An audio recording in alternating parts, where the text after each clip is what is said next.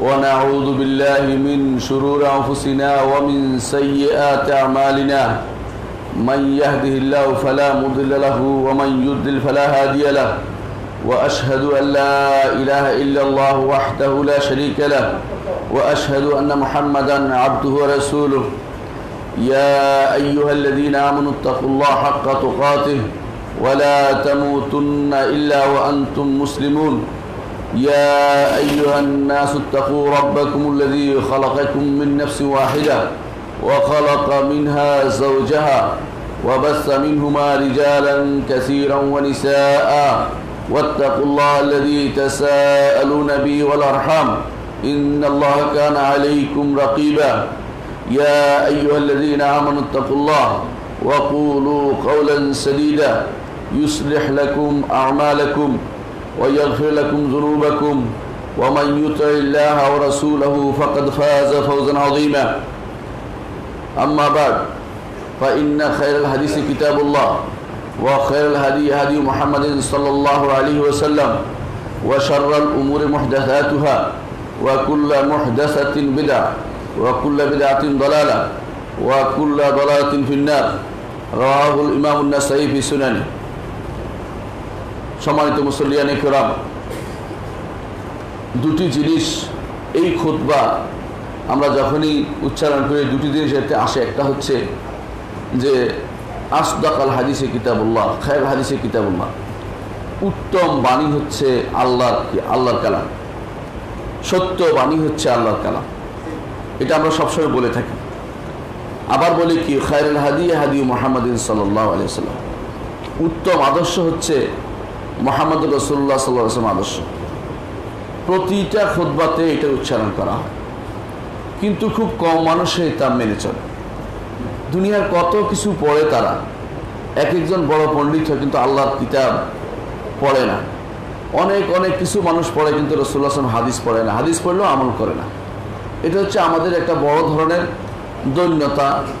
এটা হচ্ছে আমাদের বাস্তব অবস্থা যে আমরা কোরআন পড়ি না, পড়লেও মানি না, অনেক জায়গাতেই অর্থও বুঝি না। শুধুমাত্র পড়ার জন্য পড়ি। অনুরূপভাবে হাদিস পড়ি না, পড়লেও শুধুমাত্র বরকতের জন্য পড়ি। অনেক মানুষকে দেখবেন আপনি, কোরআনে কারিম খতম করতেছে খতম করতেছে। তাও কখন জানেন? মরার পরে কোরআন খতম শুরু হয়ে যায়। মরার পরে কোরআন খতম দিয়ে কী হবে? কোরআন তো আপনার জীবনের জন্য আদর্শ। জীবন কীভাবে চলবে কোরআন তো তাই বলা হয়েছে। মরার পরে আপনি মরা মানুষের উপর কোরআন খতম করে দিলেন। মরার পরে দেখবেন যে কোরআন নিয়ে মসজিদে দিয়ে আসলো দুই কপি তিন কপি কী জন্য? যে মরা মানুষের উপকার হবে। দুনিয়ায় থাকতে যেই মানুষটি কোরআন পড়ে নাই, কোরআন অর্থ বুঝে নাই, মরার পরে তার কোরআনের কি দরকার আছে বলে বেশিরভাগ মানুষই দেখবেন, হাদিসের ক্ষেত্রে একই পদ্ধতি অবলম্বন করে। হাদিস পড়ে, ষাট বছর, সত্তর বছর হাদিস পড়ে। কিন্তু সেখানে তিনি আমলযোগ্য সুন্নত পায় না। শুধু পড়ানোর জন্য পড়ে। বরং যারা আমল করে তাদের বিরুদ্ধে নেমে যায়। এরকম বহু মানুষ আপনি দেখবেন সারা জীবন হাদিস পড়িয়েছে। তাদের হাজার হাজার ছাত্র আছে, কিন্তু শূন্যতের আমল কথা বললে বা হাদিসের উপর আমল কথা বললে তাদের মনে কষ্ট এসে যায়। এটা আসলে বক্রতার লক্ষণ। মূলত আল্লাহ এবং তার রসুলের আনুগত্য এটাই মূলত আমাদের জন্য ফরজ করা হয়েছে। আর কারও আনুগত্য ফরজ করা হয়নি। যদি অন্য কারও আনুগত্য মানে যে আনুগত্যগুলো আমাদের করা দরকার, সেটা হচ্ছে যাতে কোনো রকমের কোনো রকমের ছাড় নাই, নিঃশর্ত আনুগত্য একমাত্র আল্লাহ তার রসুল হতে পারে। এর বাইরে উলিল আমার যারা প্রশাসক, শাসক, তাদের আনুগত্য হবে যতক্ষণ আল্লাহ এবং তার রসুলের কথা অনুসারে তারা আমাদের নির্দেশ দেয়। যখন এর বাইরে নির্দেশ দেয় লাসাম্মাউলা তা আনুগত্য করা যেন মানাও যাবে না। যদি আপনাকে বলে সলাপ পাওয়া যাবে না, কেউ বলল, আপনি মানবেন? আপনার মানার কোনো সুযোগ নেই। আপনাকে জাকাত পর দেওয়া যাবে না, আপনি শুনতে পারবেন না সেটা। কিন্তু আল্লাহ এবং তার রসুলের প্রত্যেকটি কথা আপনাকে মানতে হবে। সেখানে কোনো ছাড়ার সুযোগ নেই। কোরআন করিম আল্লাহ তালা বলেছেন, আতিউল্লাহ ও আতিউ রাসুল্লাহ আল্লাকুম তোর হামুন আর তোমরা আল্লাহ এবং আল্লাহ আনুগত্য করো রাসুল আনুগত্য করো। কোরআন করিম আল্লাহ তালা কখনো কখনো আতিউল্লাহ ও রাসুল একসাথে বলেছেন। কখনো কখনো ভিন্নভাবে বলেছেন। এর অর্থ হচ্ছে, আল্লাহর কথা মানতে হবে, রাসুলের কথা মেনে চলতে হবে। আল্লাহ এবং তার রাসুলের কথা যদি না মানি, তাহলে কি হবে? অন্য এক আল্লাহ তালা বলছেন ও আতিউল্লাহ রাসুলাহু ওয়ালা তানাজাউ সাবিরিন. আর তোমরা আনুগত্য করো আল্লাহ এবং তার রাসুলের। পরস্পর বিবাদে লিপ্ত হয়েও না। আনুগত্য করলে বিবাদ হবে না। আনুগত্য না করলে বিবাদ হবে। কেরকম? আনুগত্য করতে আসছেন আল্লাহ তার রসুল বলেছে, বলবেন, আমান্না সাল্লাম না মেনে নিলাম। যখনই আনুগত্য করবেন না, অমুকে বলেছে, আল্লাহ রসুলের কথা এটা বলে অমুক তমুকের কথা অনুসারে যখন কোরআন এবং হাদিসকে ছেড়ে দিবেন, তখন বিবাদ শুরু হয়। এই জন্য উম্মতি মুসলিমা যখন এক দেহ, এক প্রাণ ছিল সাহাবাই কেরামের যুগে, কারণ তারা কখনো এক কোরআন এবং সুন্না নিয়ে বিবাদে লিপ্ত হয়নি। কিন্তু যখনই পরবর্তীতে নিজেদের বুঝ অনুসারে কোরআন, সুন্না আমরা চলেছি তখনই সেখানে কি হয়েছে? পরস্পর ঝগড়াঝাটি হয়েছে, আলাদা হয়ে গেছে, উম্মতি মুসলিমা এমন ভাগ হয়ে গেছে। এক সময় ছিল মক্কাতেই চারবার জামাত হতো চারবার জমাত হতো আশ্চর্য হবেন আপনি। একটা মসজিদে চারবার জমাত হতো এটা হলো সেটা ছিল সিরিয়ার একটা মসজিদের নাম ছিল জামে উমাবি সেখানে চারবার জমাত হতো একবার হানাফিরা পড়ে যেত, একবার সাফিরা একবার হাম্বলি, একবার মালিকিরা পড়তো। ইয়াল্লাহ বলে কি মুসলিম কীভাবে ভাগ হয়ে গেল মুসলিমরা এইভাবে? আল্লাহ তালা সেটা থেকে রক্ষা করেছেন। মালিক আব্দুল আজিজ রহমল্লাহ এসে বলেন, যে উঠিয়ে দিলেন। বলে যে না, কখনো না, মুসলিমরা সব, সবাই এক কাতারে থাকবে। সবাই একসাথে নামাজ পড়বে। সেই হিসাবে সবাই একসাথে সালাত আদায় করে। এটা হচ্ছে নিয়ম। যখনই আপনি কোরআন সুন্নার দিকে আসবেন, তখনই ঐক্য আসবে। ঐক্যের ফেরিওয়ালারা আজ দুনিয়াতে কত রকমের কথা বলে বেড়ায়। ঐক্যের জন্য কত রকমের কথা ফর্মুলা জারি করে। ঐক্যের ফর্মুলা তো আর কিছু না, কোরআন সুন্না অনুসরণ করলে ঐক্য অটোমেটিকলি হবে। যেভাবে সাহাবাই কেরামের ঐক্য হয়েছে, কেউ কিছু করা লাগেনি। যখনই আপনি নিজের মন মতো কোনো নীতি বানিয়ে নেবেন, কোনো একটা আদর্শ বানিয়ে নেবেন, শতবার ঐক্যের আহ্বান করলে ঐক্য হবে না। কিসের ঐক্য করবেন আপনি? যেই ব্যক্তি বেদাতের দিকে আহ্বান করতেছে, যেই ব্যক্তি শিরকির আহ্বান করতেছে যে ব্যক্তি সরাসরি কুহুরি করে যাচ্ছে যে ব্যক্তি আল্লাহ সম্পর্কে তার আকিদায় শুদ্ধ নেই রাসুল সম্পর্কে আকিদার বিভ্রান্ত। ওই লোকের সাথে আপনার ঐক্য কীভাবে হতে পারে বলেন? ওই ঐক্য তো হবে আকিদার ভিত্তিতে। ঐক্য হবে আল্লাহ রাসূলের আনুগত্যের ভিত্তিতে। সেটা না করে আজ আমাদের সমাজে ঐক্যের জন্য বহু রকমের ডাক, ঐক্যের বহু লোককে আপনি দেখবেন যে ঐক্যের জন্য বলতে ঐক্যের কর্মী। ঐক্যের কর্মী সেভাবে হয় না। ঐক্য হয় একমাত্র কোরআন এবং সুনার অনুসরণের দিকে, আনুগত্যের দিকে। এই জন্য আল্লাহ তালা বলছেন পরস্পর মত বিরোধ ঝগড়ায় লিপ্ত হয়েও না। ফাতাফশালু, তোমরা তখন, ফসল হবে, তোমরা তখন অকৃতকার্য হয়ে যাবে। ওয়াতাগহাবারি হুকুম, তোমাদের শক্তি চলে যাবে। ওয়াসবিরু আর কোরআন এবং সুন্নার আনুগত্য করতে সবর করা লাগে, সবর তোমার করতে হবে। দুনিয়ার বুকে বহু মানুষ আছে, দেখবেন, যারা দুনিয়ার বুকে অনেক ভালো অবস্থা থাকলে তারা কিন্তু আল্লাহ তার আনুগত্য করে। একটু কষ্ট হলে তখন আস্তে করে দিন ছেড়ে দুই দিকে সরে যায়। মনে করে এত কষ্ট করার দরকার কি? বিভিন্ন রকম অজুহাত খুঁজে, শয়তান সে অজুহাত তৈরি করে দেয়। এটা কিন্তু শয়তানের কারসাজি। কোরআনে করিম আল্লাহ তালা এই জন্য বলেছেন অমিনের নাসে মাইয়া আবুদুল্লাহ আল্লাহ হারফি, ফাইন আসাবাহু বিহি ওয়াইন আসাবাতহু ফিতনাতুন কালাবা আলা ওয়াজহি, খাসরাত দুনিয়া ওয়াল মুবিন। কারিম আল্লাহ তাআলা বলছেন, কিছু মানুষ আছে যারা আল্লাহর আনুগত্য করে ভালো অবস্থায়। যদি ভালোভাবে পেয়ে যায় আলহামদুলিল্লাহ, কত ভালো আল্লাহ আমার। দিয়েছে। যদি কষ্ট হয় দেখে যে হচ্ছে না তখন বলে যে কেমন হলো সেটা? আমার আল্লাহ আমি তো এত কিছু করে আমার দিল না। তখন অন্যদিকে ফিরে যায়। এরকম মানুষও আপনি পাবেন। এরকম মানুষ দুনিয়ার বুকে পাবেন। কাফেররা তখনকার সময় কি করতো? যখন তারা যে মুনাফেকরা আল্লাহর আনুগত্য করার জন্য কাজ করত যখন ফসল ভালো হতো অথবা তাদের রিজিক ভালো থাকতো তখন বলতো যে "হ্যাঁ, এই দিন ভালো আছে। যখনই যেই বছর ফসল খারাপ হতো এই বছর ভিন্ন পথে চল পরিচালিত হইতো। আমরা তো তাই করি। যখন আল্লাহ এবং আল্লাহ রসুল আমাদেরকে আল্লাহ আল্লাহ রসুলের পথে চলি, তখন আমরা যদি ভালো থাকি, যদি ভালো অবস্থান থাকি, তখন কি বলি? আলহামদুলিল্লাহ, আল্লাহ আমাদের দিয়েছে। যদি একটু খারাপ হয়, তখন দৌড়াই শিরকের কাছে, কবরের কাছে, হুজুরের কাছে, বিভিন্ন মানত মানার জায়গা দিয়ে কেন আল্লাহ আর দিবে না? তার মধ্যে এখন খারাপ ধারণা চলে আসছে। এই জন্য সলফেস আলী সবসময় বলতেন যে দুটি কারণে মানুষ শিরিক করে থাকে। একটি হচ্ছে স্রষ্টার ক্ষেত্রে স্রষ্টার ক্ষেত্রে খারাপ ধারণা পোষণ করা। আরেকটা হচ্ছে সৃষ্টির ক্ষেত্রে বাড়াবাড়ি করা। স্রষ্টার ক্ষেত্রে খারাপ ধারণা পোষণ করছেন কি? আল্লাহ আমাকে দিবে না যতক্ষণ পর্যন্ত না কবর দশটা টাকা দিয়ে আসে। আল্লাহ আমাকে উদ্ধার করবে ততক্ষণ পর্যন্ত হুজুরের নামে মানত না করে বসি। আল্লাহ আমাকে দিবে না ততক্ষণ পর্যন্ত এই বিশ্বাসটা না করি। এই জাতীয় জিনিস, আপনি যখন আল্লাহ সম্পর্কে খারাপ ধারণা পোষণ করছেন, তখনই শিরিক হচ্ছে। আর দ্বিতীয়টা, দ্বিতীয় ওই সময় শিরিক হয় যখন মানুষ সৃষ্টির ক্ষেত্রে বাড়াবাড়ি করে। আপনি মনে করছেন যে কবরওয়ালা একটা কিছু করতে পারে। অথবা আমার পিসাব আমাকে বিপদ থেকে উদ্ধার করে দিতে পারে। সৃষ্টি বাড়াবাড়ি, অথচ এগুলি তাদের অধিকারে নেই। বা যে কোনো সময় আপনাকে বিপদ থেকে উদ্ধার করতে পারে কে? একমাত্র আল্লাহ। আর কেউ উদ্ধার করতে পারে না। আপনি বাড়িয়ে বাড়িয়ে যে মরে গেছে, সে তো নিজেই বিপদে আছে। সে নিজে কবরের ভিতরে আছে। ইমাম আবু হানিফা রহমতুল্লাহ আলী বলেছেন যে একজন মৃত মানুষের কাছে কিছু চাওয়া, তার কাছে কোনো সাহায্য চাওয়ার অর্থ হচ্ছে ডুবন্ত মানুষ আরেক ডুবন্ত মানুষের কাছে কিছু চাচ্ছে। এত কঠিন কথা তিনি বলেছেন, তিনি আরও বলেছেন, আমি পছন্দ করি, আমি আরাম মনে করি, অপছন্দ করি এটা, অপছন্দ করি। কেউ আল্লাহর কাছে আল্লাহ ছাড়া কারও দ্বারা কিছু চাইবে। ব্যক্তি সত্তার অসুবিধা দিয়ে চাওয়া তিনি হারাম ঘোষণা করেছেন। তাহলে বোঝা গেল, মানুষ এখন যা করছে, বেশিরভাগই বাড়াবাড়ি করছে সৃষ্টির বেলা। সৃষ্টি, স্রষ্টা তো তিনি একমাত্র আল্লাহ তার আর সবই তো সৃষ্টি। সবাই একত্র হলেও আপনার কোনো তাকদির পরিবর্তন করতে পারবে না। আপনার কোনো যা লেখা তা পরিবর্তন করতে পারবে না। এই জন্য ইমাম বুখাই রহমতুল্লাহ হাদিস নিয়ে আসছেন অন্যান্য হাদিস, অন্যান্য ইমাম হাদিস নিয়ে আসছেন। যে হাদিসটি বিখ্যাত, যে আব্দুল ইবনে আব্বাস রাদিয়াল্লাহু রাসূলুল্লাহ সাল্লাল্লাহু আলাইহি ওয়াসাল্লাম তার বাহনের পিছনে বসিয়েছেন। বসে বলেছেন যে তোমাকে একটি জিনিস জানাব, যে যেটা তোমার উপকার হবে। হে গোলাম, তোমাকে আমি কিছু ওয়াল্লেমুকা কালেমা কিছু কালেমা শিক্ষা দেব। সেখানে তিনি একটি কথা বলেছিলেন।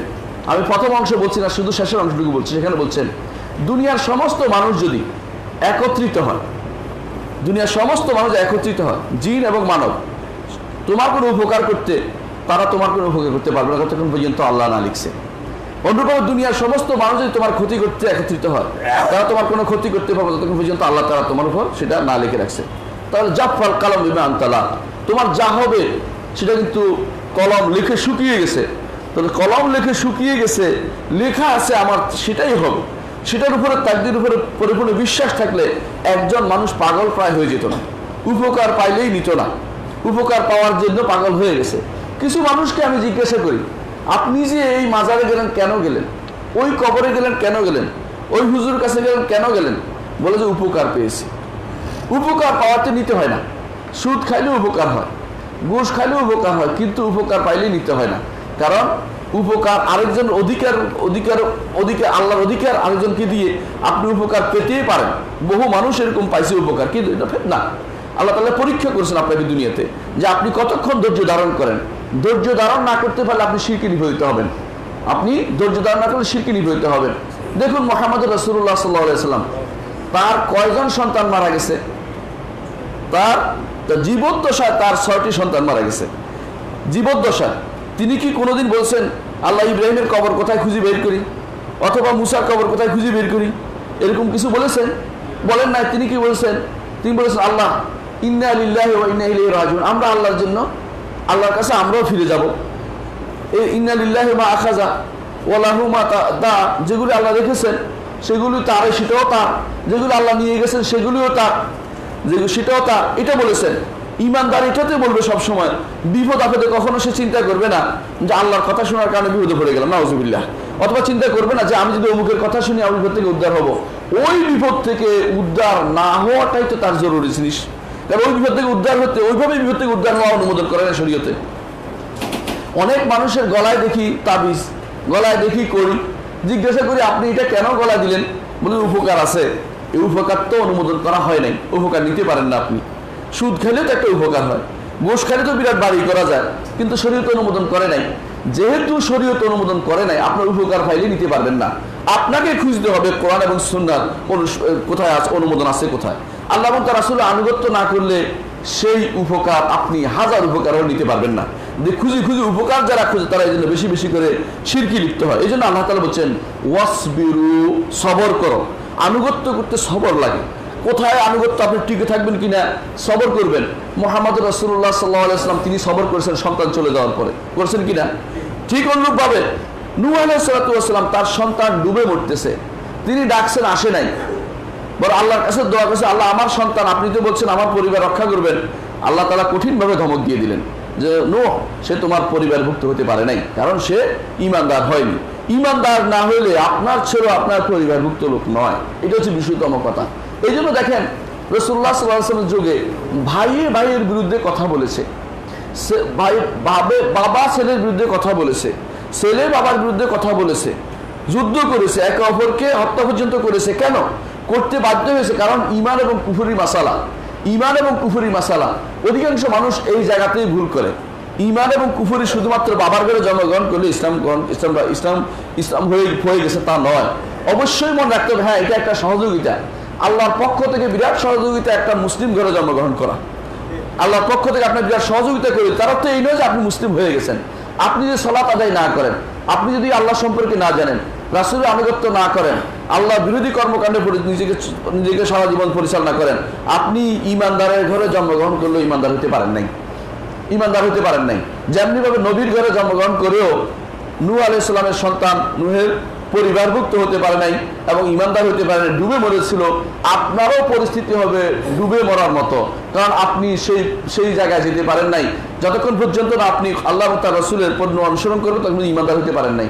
একজন হিন্দু আমাকে জিজ্ঞাসা করতেছে যে, আমার কি দোষ? আমার বাবা হিন্দু ছিল।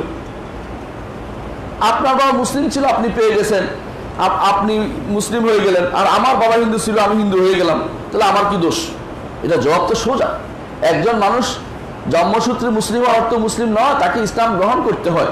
তার ইসলামের কিছু জিনিস তাকে মেনে নিতেই হয়। মেনে নিয়ে কর্মকাণ্ড পরিচালনা করতে হয়। এখন ইসলাম হয়ে গেছে বেশিরভাগ মানুষের কাছেই, জন্মসূত্রে মুসলিম। কারণ তার ভোটার লিস্টে ইসলাম আছে এই জন্য।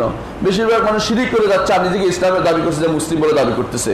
কিন্তু মুসলিম হওয়া লাগে। এই জন্য আল্লাহ তালা কোরআন কারিম বলছেন, ইয়া আইয়ুল্লাযিনা আমানু আমিনু। ইমানদারগণ ইমান আনো। কেন ইমান আনো? তোমাদের ইমান পোক্ত হয়েছে কিনা এখন তোমাদের দেখা হচ্ছে উচিত। অনেক মানুষ আছে এরকম। ইমান আজ বাবার ঘরে নেককার বাবার ঘরে ইমান এনেছে জন্মগ্রহণ করেছে, কিন্তু ইমান কোনোদিন ইমানের কাজ করেনি। সলাপ যে ব্যক্তি পড়েনি, তার ইমানের পরিচয় কি? ইসলামের সলাৎ হচ্ছে ইসলাম ইসলামের পরিচয় হচ্ছে সলাতের মাধ্যমে। একজন মানুষ ইমানদার, পরিচিত হবে সলাতের মাধ্যমে। সাহাবাই কেরামের যুগে যে ব্যক্তি সলাৎ করতে হবে তাকে বলা হতো মুনাফেক। মুনাফেক।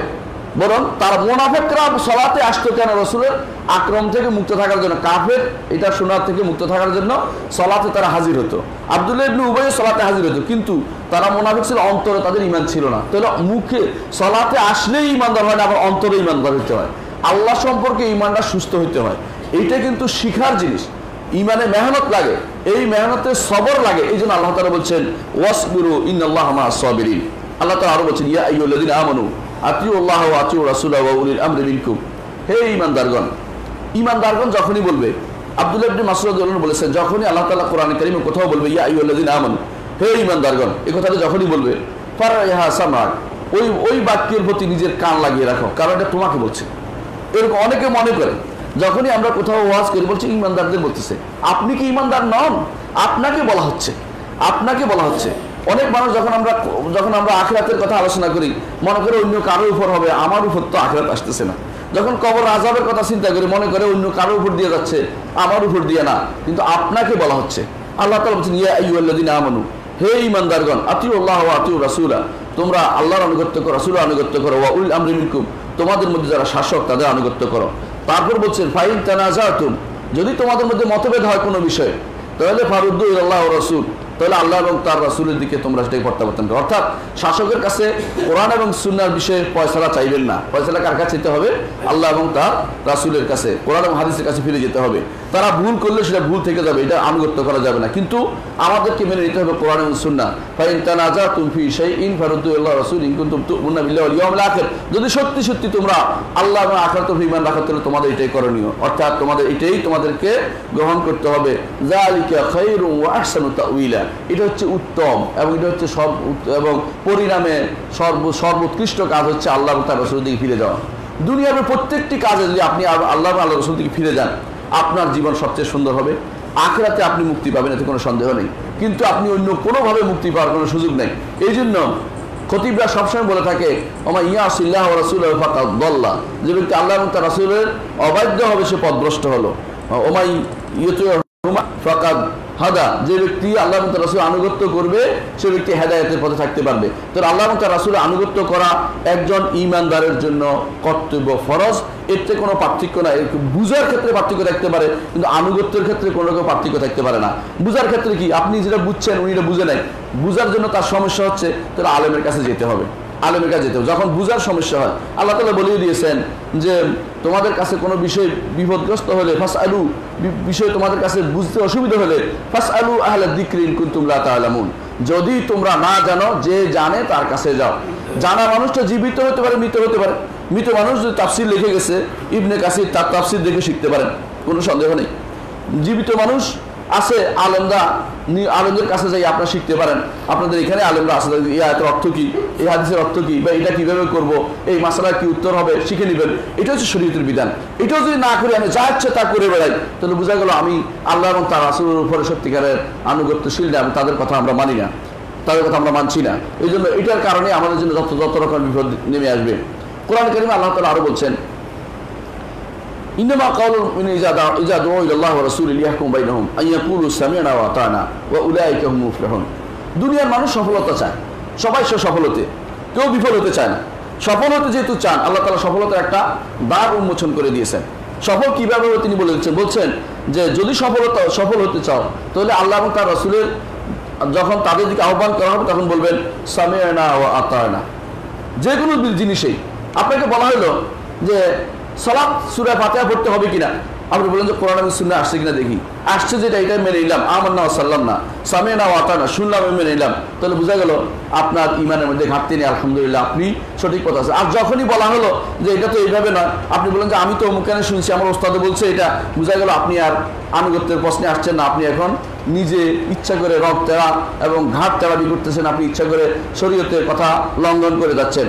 এই জন্য আল্লাহ তালা বলছেন ওমা ইয়াত ইল্লাহা ও রসুলাহু ও ইয়াকশাল্লাহ রসুল, ও ইয়াকশাল্লাহ ইয়াত্তাকে ফাউলাইকা হুমুল ফায়েজুন যে কেউ আল্লাহর আনুগত্য করবে, রাসুলের আনুগত্য করবে, আল্লাহকে ভয় করবে এবং তার তাকে অবলম্বন করবে, তারাই হবে সফল কাম। সফল কাম এক দুইটি আয়াতে পর পর দুইটা শব্দ ব্যবহার করেছে। একটা হচ্ছে ফায়েজ, একটা হচ্ছে ফালেহ। অর্থাৎ সফল কাম হবে, ফালাহ অর্থ সফল কাম হওয়া। আর ফায়েজ অর্থ সফল কাম হওয়া দুইটা আয়াতে বলা হচ্ছে। দুইটা আয়াতের মূল উপজীব্য হচ্ছে, আল্লাহ এবং তার রাসুলের আনুগত্য করতে পারলেই শুধুমাত্র আমরা সফল কাম হব, নইলে কখনো আর সফল কাম হব না। এই জন্য আমাদের জীবনে প্রত্যেকটি ক্ষেত্রে যখনই বলা হবে এটা হচ্ছে আল্লাহ এবং তার রসুলের কথা, তখনই বলতে হবে সামিয়ানা ও আতানা শুনে নিলাম এবং মেনে নিলাম। সাহাবাই একরামকে আল্লাহ তালা তাই শিক্ষা দিয়েছেন লাইকল্লিফুল্লাহ নাফসাইল্লাহ সাহা সেখানে এই আয়তের শেষে দিয়ে বলা হয়েছে সামিয়ানা ও আতানা মুফরানাক রব্বানা ও ইলাইকাল মাসিদ আমরা মেনে নিচ্ছি, আমরা শুনলাম এবং মেনে নিচ্ছি। বলি ইসরাইলরা তারা বলতো সামিয়ানা ও আসাই না। শুনলাম এবং অবাধ্য হইলাম, মানলাম না। শুনলাম, মানলাম না। কিন্তু এই উম্মতের বড় গুণ হচ্ছে এটা, তারা বলে সামিয়ানা ও আতানা যদি রসুল্লাহ উম্মত হতে চান, তখন কথায় কথা থাকতে হবে, শুনলাম এবং মেনে নিলাম। কোরআন সুন্নার কথা দিয়ে আমাদের আহ্বান জানানো হয়েছে। আমাকে কোনো অন্যদিকে আহ্বান জানানো হচ্ছে না। কোরআন সুন্নাকে মানার দিকে আহ্বান করছে। ব্যক্তির কোনো স্বার্থ নেই।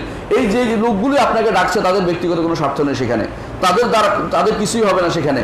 কিন্তু তাদের স্বার্থ একটাই, যে আপনি যদি মেনে নেন, আখেরাতে আপনি যত আমল করেছেন, তার কিছু সব তারা পেয়ে যাবে। হাদিস এভাবে আসছে।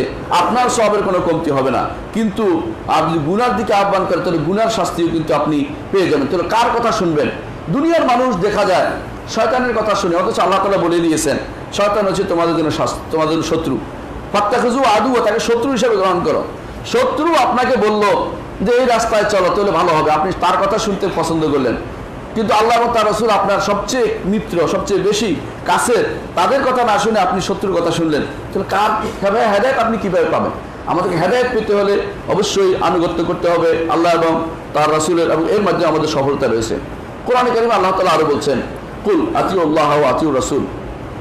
এভাবে আপনি বলে দিন, আনুগত্য করো আল্লাহ, আনুগত্য করো রাসুলের।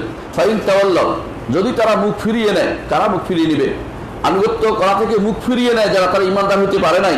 এই জন্য আল্লাহ তালা তার রসুলকে বলতেছেন যে, ফাইন তাওয়াল্লাহ ফাইন্নামা আলাইহিমা হম্মিলা আলাইকুমা হম্মিলতুম। তাহলে বলে দিন যে, নবীর উপরে যে দায়িত্ব তিনি পালন করেছেন, তোমাদের উপর যেটা তোমার দায়িত্ব, তোমাদের কাঁধে চড়ে দিয়েছে তোমরা সেটা বহন করবে। যদি তুমি তারা সত্য কথা শুনে, আলহামদুলিল্লাহ জান্নাত পাবে। আর সত্য কথা না শুনলে জাহান্নাম যাবে। মোহাম্মদ রসুল্লাহ সাল্লাহ এই জন্য বলেছেন তুল্লু উম্মতি ইয়াদুল জান্না ইল্লামান আবা। আমার প্রত্যেকটা উম্মত জান্নাতে যাবে। তবে যে অস্বীকার করছে জান্নাতে যাবে না। কিল আমার ইয়াবা রসুল আল্লাহ বলা হলো যে ইয়া আল্লাহ রসুল, কে অস্বীকার করল আপনাকে? বলে, মান আত আনি দেখাল জান্না আমার আসানি ফাঁকাত আবা। যে আমার আনুগত্য করল জান্নাতে প্রবেশ করবে। যে আমার অবাধ্য হলো, সে তো আমাকে অস্বীকার করে বসল। সুতরাং সে জাহান নামে যাওয়ার পথ রচনা করল। মোহাম্মদ রসুল্লাহ সাল্লাহ আসলামকেই আপনাকে জীবনের প্রত্যেকটি ক্ষেত্রে আয়নার মতো মেনে নিতে হবে। তিনি এটা করেছেন, এটা করব। তিনি এটা করেন নাই, আমি এটা করব না। যত শত মানুষে বলল, সেটা আমার আর কিছু যায় আসে না। কারণ সেটা আমার জন্য গ্রহণযোগ্য জিনিস। বিশেষ করে এবাদাতের ক্ষেত্রে কখনো কখনো তিনি কোনো কিছু অপূর্ণাঙ্গ রেখে যান নাই। আল্লাহ তালা তার দিনকে পূর্ণ করে দিয়েছেন। আল্লাহ তালা বলে দিয়েছেন আলিয়ম আকমাতুলাকুম দিনাকুম ও আকমাম তু আলাইকুম নিয়ামাতি ও রদিতুলাকুম ইসলামা দিনা। ইসলাম সর্বশ, সর্বশেষ যে অবস্থানে ইসলাম আছে, ইসলাম প্রত্যেক নবীর দিন ছিল। আদম আলাহ ইসলামের ইসলাম ছিল। নুয়ের সহ প্রত্যেক নবী দিনে ইসলাম ছিল। কিন্তু ইসলাম ধীরে ধীরে যেভাবে মানুষের যেমন একটা পর্যায় পর্যন্ত পরিপূর্ণতা আসে, ইসলামের সর্বশেষ যখন মোহাম্মদ রসুল্লাহ সাল্লাহ ইসলামের কাছে ইসলামের পরিপূর্ণতা নিয়ে ইসলাম ধরা দিয়েছে এবং সেইভাবে আল্লাহ তালা নাজির করেছেন। আল্লাহ অন্য কোনো কিতাবে বলেন না আলিউম আকমাতুল এখন দিন এখন একমাত্র এই কিতাবে বলেছেন কোরআনে বলেছে যে, তোমাদের জন্য তোমাদের দিনকে পরিপূর্ণ করে দিলাম। এই জন্য আগের কোনো শরীর পরিপূর্ণতা আপনি কিছু পাবেন না। আপনি ইহুদিদের ধর্ম দেখেন, অনেক কিছুই নেই। আমাদের দিনে দেখেন ইহুদির ধর্ম কেন বললাম? ইহুদিটার দিন নেই এটা ধর্ম। নিজে ধারণ করে নিয়েছে। কিন্তু ইসলাম দিন, আল্লাহর দেওয়া জিনিস। সেটাতে আমাদের দেখেন, বাথরুমে কীভাবে যেতে হবে সেটাও শিখিয়ে দেওয়া হয়েছে। এই জন্য এক সাহাবিকে জিজ্ঞাসা করা হয়েছে, এক ইহুদি বলতেছেন আল্লাহ মাকুম নবী হুকুম কুল্লো সে হাত্তাল খেরা। তোমাদের নবী তোমাদেরকে সব শিক্ষা দিয়েছেন এমন কি বাথরুমে যাওয়ার নিয়মক শিক্ষা দিয়েছেন। তিনি বলছেন, আজাল। অবশ্যই হ্যাঁ আমাদের নবী আমাদেরকে সব কিছু শিক্ষা দিয়েছেন। এমন কি বাথরুমে কীভাবে যেতে হবে সেটাও আমাদের নবী আমাদেরকে শিক্ষা দিয়েছেন। কীভাবে যেতে হবে তিনি বলে দিয়েছেন। আমাদেরকে বলেছেন যে আমরা যেন তিনটি পাথর ব্যবহার করি। আরব দেশে পাথর ছিল সেই জন্য পাথর ব্যবহার করি। আমাদেরকে বলেছেন বাম হাতে ব্যবহার করি। আমাদের যেন হচ্ছে বাম পা ঢুকি। এগুলো তিনি বিস্তারিত বলা আরম্ভ করলেন। এর অর্থ হচ্ছে যেই নবী আপনাকে, যেই নবী আপনাকে, আপনার একেবারে দৈনন্দিন জীবনের খুঁটিনাটি বিষয় পর্যন্ত শিক্ষা দিয়েছেন। সেই নবী আপনাকে আল্লাহ সম্পর্কে শিক্ষা দেন না বলতে পারেন? নাউজুবিল্লাহ। কিছু মানুষ আছে বলে, আল্লাহ সম্পর্কে চিন্তা করো না। আল্লাহ সম্পর্কে আলোচনা করো না। আল্লাহ সম্পর্কে তোমার প্রয়োজন চিন্তা করার দরকার নেই। আল্লাহ সম্পর্কে কিছু শিক্ষা না দুনিয়ার সব কিছু আপনাকে শিক্ষা দিবে। কিন্তু আল্লাহ রবুল দিতে নাম, গুণ, তার সম্পর্কে আমাদের কি আকিদা পোষণ করতে হবে? স্রষ্টা যে সৃষ্টি থেকে আলাদা এবং তিনি যে সম্পূর্ণ পৃথক এবং স্রষ্টা স্রষ্টা যে কত বড় শ্রী মহান এবং সৃষ্টি যে কত ছোট, এটা আপনাকে শিক্ষা দিবে না কোনোদিন। বরং তারা আপনাকে শিক্ষা দিবে যে আল্লাহ তালা সত্তাগতভাবে সব জায়গায় রয়েছে। এরকম যদি কোনো কেউ শিক্ষা দেয়, আল্লাহকে তো চিনতে পারেনি সে। সে আবাদত করে তার কোনো লাভ হবে না। সারা জীবন যদি আবাদত করে, আর যদি মনে করে আল্লাহ সব জায়গায় রয়েছে, তার সে আবাদত আল্লাহ দরবার সামান্যতম গ্রহণযোগ্য হবে না। সে আর হাসর হবে ওয়াদের সাথে ফেরাউন, হামানদের সাথে। কারণ সে আল্লাহ সম্পর্কে খারাপ ধারণা পোষণ করতো।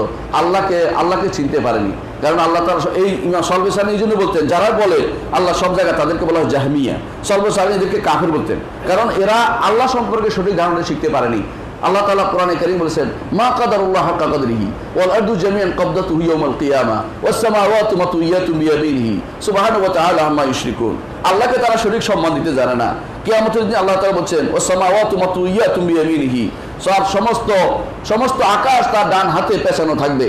আকাশ সবগুলো আকাশ কি আপনি দেখেছেন? জমিনগুলো সবগুলোর উপরে আকাশ, কত বড় তার হিসাব নাই।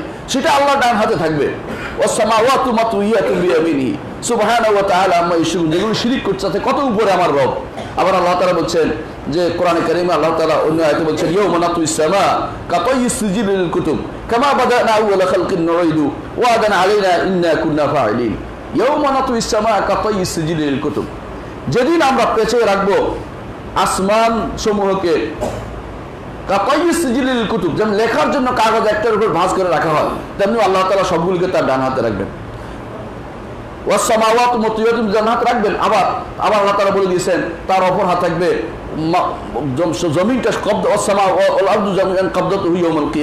পুরো জমিন জমিন বলতে শুধু এই পৃথিবী নয়, এই জাতীয় যত জমিন সবগুলি আল্লাহর মুষ্টির ভিতরে থাকবে। আল্লাহ তালা এটা, এত মহান রব যিনি, এত বড় রব যিনি, সেই রবকে আপনি ঢুকাই রয়েছেন আপনার কলমের ভিতরে। কিছু মানুষ আছে কলমের ভিতরে, কিছু মানুষ সব জায়গায়, কিছু মানুষ আছে খারাপ জায়গাতেও তাকে কল্পনা করে। না নওয়াজুবিল্লাহ আল্লাহ তালা তিনি আরশের উপর রয়েছেন, তিনি সব কিছু দেখছেন। এই বিশ্বাসের বাইরে অন্য কোনো বিশ্বাস ইমানদার রাখতে পারে না। অন্য কোনো বিশ্বাস রাখার অর্থই হচ্ছে তিনি এখনও সহি দিন পাননি, তিনি কোরআন সুন্নার অনুসারী হতে পারেননি। কোরআন সুন্নার অনুসারী না হওয়া পর্যন্ত জান্নাতে যাওয়ার আশা করতে পারেন না। আল্লাহ তালা যেটা বলেছেন ওই তুতিউ তাতাদু যদি তোমরা রাসূলের আনুগত্য করো, তাহলে হেদায়েত প্রাপ্ত হবে। ওয়ামা আলা রাসূল ইল্লাল মুবিন আমার রাসূলের উপর দায়িত্ব হচ্ছে শুধুমাত্র পৌঁছে দেয়া। রাসূলুল্লাহ সাল্লাল্লাহু আলাইহি তিনি চেষ্টা করতেন যে একটা মানুষকে কীভাবে হেদায়তের পথে নিয়ে আসবেন?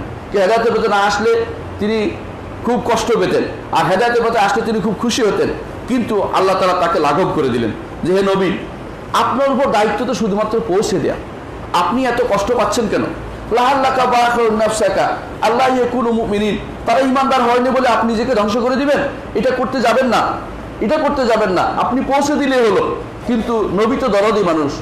তিনি অত্যন্ত দরদি হিসেবে তিনি চেষ্টা করতেন দাঁড়ে দাঁড়ে যেতেন, বাজারে যেতেন, দূরে যেতেন, কাছে যেতেন, সকালে বিকালে যাইতেন, যেমনি পাইতেন, মৃত্যুর সময় যাইতেন, সুযোগ বুঝে যাইতেন, এটা হচ্ছে আমার নবীর কাজ।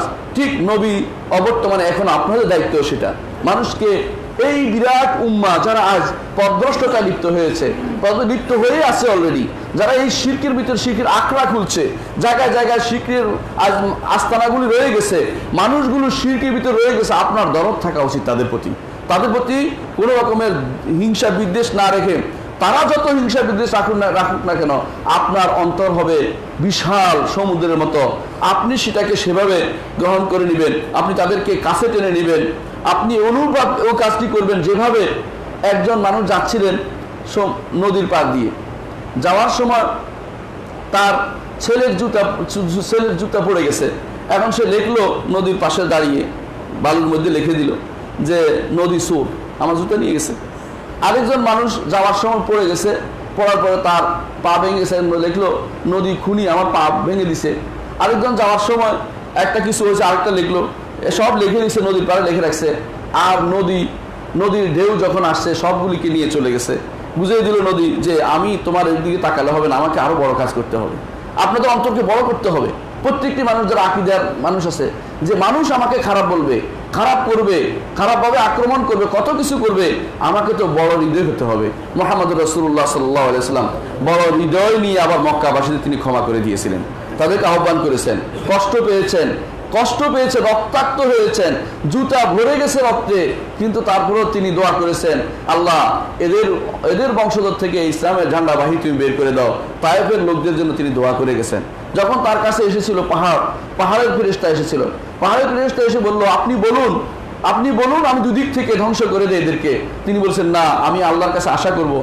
এদের সন্তানরা একসময় দুনিয়ার বুকে ইসলামের ঝান্ডা উড্ডীন করবে। তাই করেছে।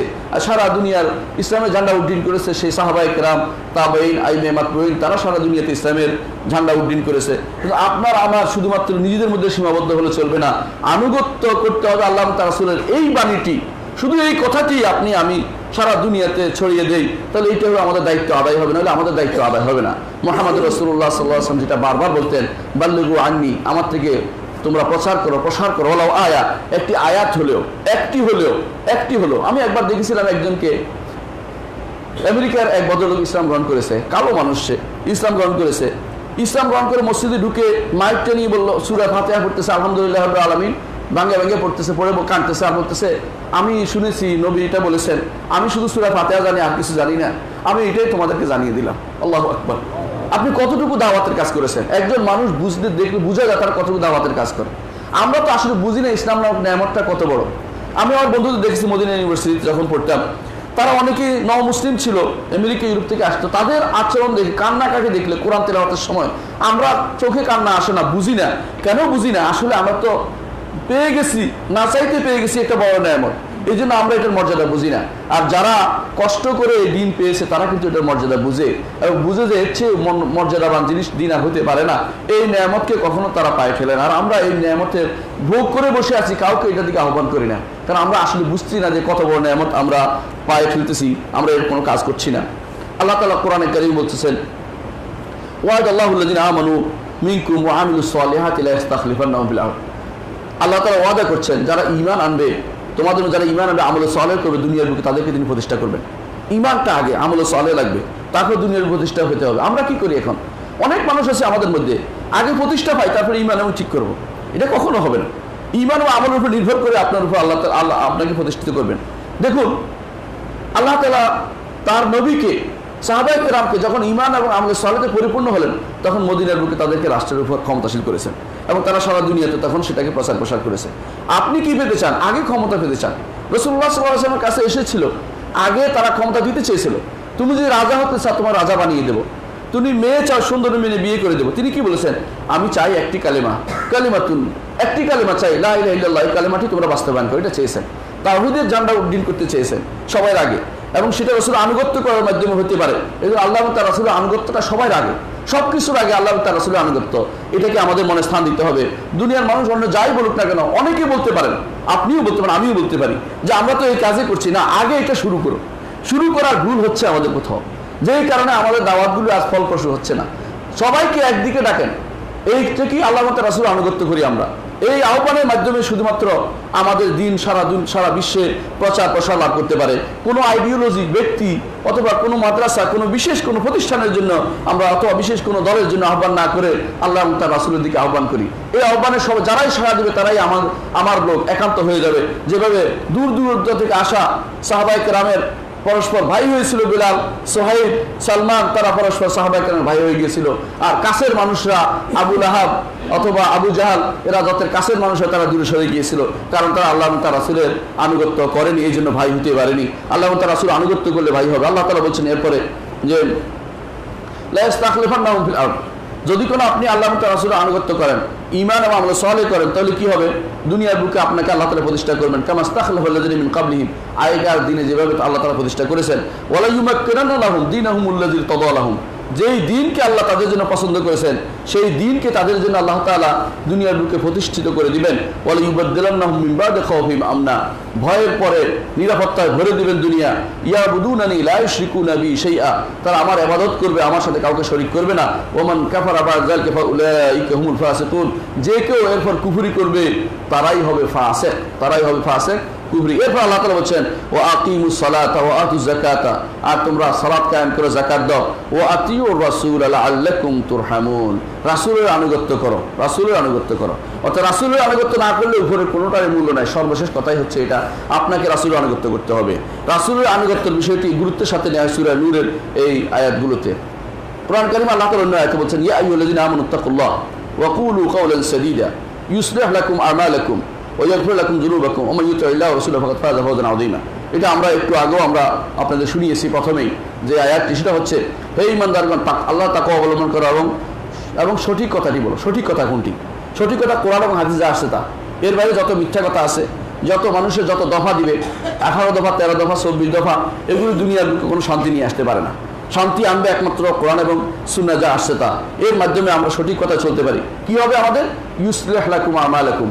যদি আমরা সঠিক কথা বলি, সঠিকভাবে চলি, কোরআন শূন্য তাহলে আমাদের আমলগুলি আল্লাহ তালা ঠিক রাখবেন, নষ্ট হতে দিবেন না। ইয়াকুম দুনুবাকুম গুনা ক্ষমা করে দিবেন। ওমাই ইউতাহ রাসুলহু ফাকাদ আর যে কেউ আল্লাহ তার রাসুলের আনুগত্য করবে, সে তো মহা সফলতা লাভ করবে। মহা সফলতাই তো আমাদের উদ্দেশ্য, তাই না? দুনিয়ার বুকে এত কিছু করার পর জান্নাতে যদি যাইতে না পারি, তাহলে আমার জীবন ব্যর্থ। আর যদি জান্নাতে যেতে পারি, আমার আপনার জীবন সার্থক। জান্নাতে যাওয়ার জন্য সব বলেই দিচ্ছে ওমাই ইউতাহ রাসুলহ। আল্লাহ রাসুল আনুগত্য করলে আপনি জান্নাতে যেতে পারবেন। তো আল্লাহ তার রাসুল আনুগত্য আমাদের জন্য একান্ত অপরিহার্য জিনিস। এই ব্যাপারে কোনো ছাড় দেওয়ার কোনো সুযোগ নেই। কোরআন করিম আল্লাহ তালা নতুন বলছেন, ইয়া আইউল্লাদিন আমর ইস্তাজিবুল্লাহ ইয়া আইউল্লাদিন আমর ইস্তাজিবুল্লাহ ওয়ালি রাসূল ইজা দাআকুম লিমা ইউহয়িকুম হে ঈমানদারগণ, আপনাকে বলছে ইস্তাজিবুল্লাহ রাসূল আমাকে বলছে, যে আল্লাহ তার রাসূলের ডাকে সাড়া দাও। আল্লাহ তার রাসূলের ডাকে সাড়া দাও। আল্লাহ তার রাসূলের ডাক বলতে কি বুঝাচ্ছেন? কোরআনে কারিমে আপনাকে যা করতে বলেছে তা করতে হবে। রসুল আসলাম হাদিসে আপনাকে যা করতে বলেছে তা করতে হবে। এটা হচ্ছে সাড়া দেয়া। সাড়া দেওয়া এটার নাম। এই জন্য যখনই রসুল্লাহ সাল্লাহ একদিন বললেন যে অমুক তুমি আমার ডাকছেন তিনি সালাত আদায় করছিলেন। রসুল্লাহ সাল্লাহ সালাতের পরে বললেন যে রসুল, আমি তো সালাত আদায় করছিলাম। বলে আল্লাহ বলে নাই, তোমার আমার ডাকে সাড়া দিতে। তাহলে তো রসুল ডাকলে শুনতে হবে সেটা।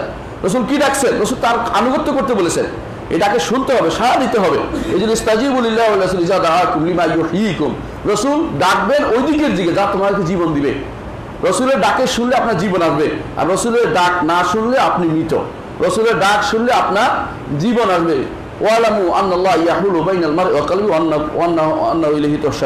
আর জেনে রাখো, যদি আল্লাহ তারা তোমাদের মাঝখানে একটা পর্দা দেন মানুষ, ব্যক্তি এবং আল্লাহর মাঝখানে। কি জন্য? যদি আনুগত্য শুনে পর্দা সরে যায়, তাহলে জান্নাতে যাওয়ার পথ হয়। আর যদি পর্দাটা থেকে যায়, তাহলে জাহান্নামে যাওয়ার পথ হয়। আল্লাহর কাছে যদি আপনি যেতে চান, একত্রিত হতে আল্লাহ বলছে, তার কাছে ফিরে যেতে হবে, আনুগত্য কার করতে হবে? আল্লাহ এবং তার আসুর আনুগত্য করার মাধ্যমে তার কাছে ফিরে যেতে হবে। কোরআন করিম আল্লাহ তালা অন্যত্র বলেছেন, কুল আতিউল্লাহ রাসুল, ফাইন তাল্লাহ ফাইন আল্লাহ কাফিরিন। হে নবী, আপনি বলে দিন, আল্লাহ তার রাসুল আনুগত্য করো। যদি তোমরা মুখ ফিরিয়ে নাও তাহলে আল্লাহ তালা কাফেরদের পছন্দ করে না। কি বুঝলেন? যদি মুখ ফিরিয়ে নেয়, কি হবে? কাফের হয়ে যাবে। এবং আল্লাহ তার রাসুলের আনুগত্য থেকে মুখ ফিরিয়ে নেওয়ার কারও কোনো সুযোগ নেই। ওমান যদি কেউ মুখ ফিরিয়ে নেয়, আল্লাহ তালা কোরআন করিম এই জন্য বলেছেন, সুরা সৈদার মধ্যে হামিম সৈদার মধ্যে যে অমর রহমান দুঃখী রবে আয়াত রবি সুম্মা আনহা, ইন্না মিনাল মুজরিমিনা আল্লাহ তালা বলছেন, যে ব্যক্তি, ওর চেয়ে বড় জালেম আর কেউ নেই, যাকে ডাকা হচ্ছে আল্লাহ এবং তার রাসুলের দিনের দিকে যে এটা মেনে নাও। সে মুখ ফিরিয়ে নিয়েছে আল্লাহ বলছে, আমি এই মুসলিমদের থেকে মুসলিমদের সাত কঠিন শাস্তি দেবো। আল্লাহ তাদের শাস্তি দেবেন। কারণ তো আল্লাহ তার রসুলের আহ্বানে সাড়া দেয়নি। আল্লাহ তার রসুলের বিরুদ্ধে তারা চলেছে। আল্লাহ তার রসুলের আনুগত্য করলে আল্লাহ তালা পছন্দ করেন। আর যারা আনুগত্য করবে না, আল্লাহ তালা তাদেরকে ঘৃণা করেন, তারা ইমানদার হতে পারবে না।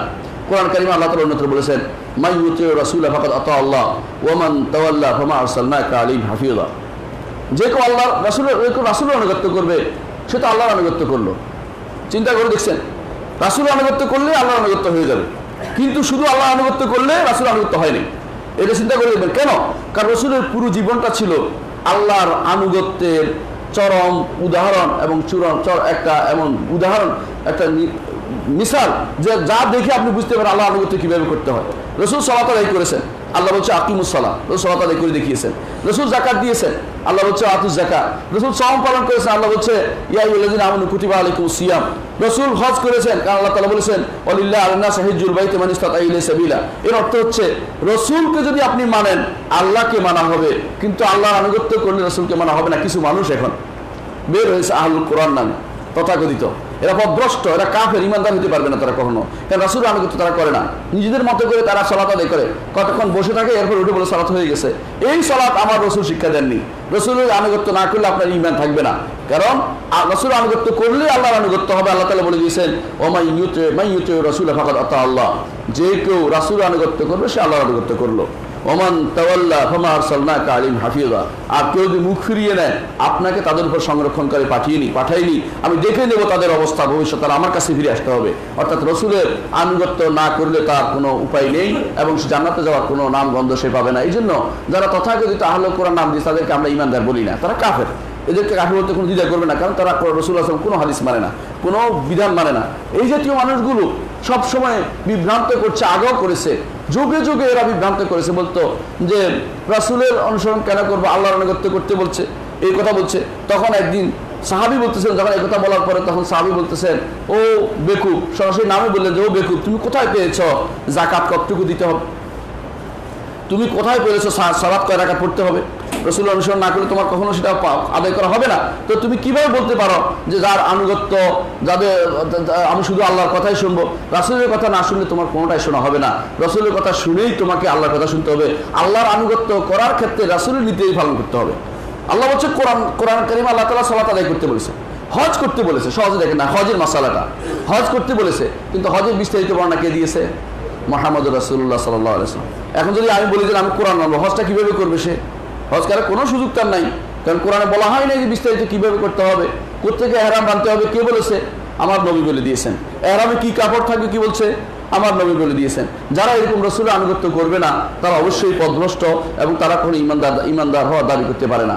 কোরআন করিম আল্লাহ তালা বলছেন অমাইয়ত ইল্লাহ রসুলা আর যারা আল্লাহ এবং তার রাসুল আনুগত্য করবে ফা উল্লাহ আল্লাহ আলহিম من النبيين والصديقين والص- والص- والصالحين وحسن أولئك رفيقا যারা আল্লাহ এবং তার রাসুল আনুগত্য করবে তারা কোথায় থাকবে জান্নাতে থাকবে মা আল্লাহিন আনাম আল্লাহ আলিম যাদেরকে আল্লাহ তার নিয়ামত দিয়েছেন কারা সেটা প্রতিদিন দোয়া করেন সুরাত আল্লাহিন আনাম তা আলিম এরা কারা নবীন সুদ্দিকিন সুহাদা সালেহিন চার শ্রেণীর লোকের সাথে থাকার জন্য আপনি দোয়া করেন উলাইকা আনাম আল্লাহ বিন নবীন সুদ্দিকিন ও সুহাদা ও সালিন হাসুনা উলাইকা রাফিকা তাদের সাথে তাদের সাথে থাকাটা, এটা হচ্ছে আল্লাহর কাছে উত্তম কার আল্লাহ বলছে, হাসুনা উলাইকা রাফিকা। তাদের বন্ধুত্ব গ্রহণ করাটা সবচেয়ে ভালো কাজ। কাদের? নবী, সিদ্দিক, শহীদ এবং সালেহ। নেককার বান্দাদের সাথে থাকবেন, শহীদদের সাথে থাকবেন, নবীদের সাথে থাকবেন, সিদ্দিকদের সাথে থাকবেন। সিদ্দিক কার?